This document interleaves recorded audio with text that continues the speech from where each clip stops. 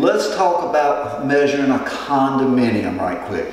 Now, first off, the word condominium, when most people hear it, you know, they think it's a property style type or whatever.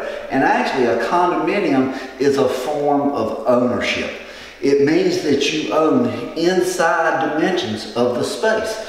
Uh, an association owns the exterior, the balconies, decks, you know, all the common areas. So a condominium and a townhome are not measured the same.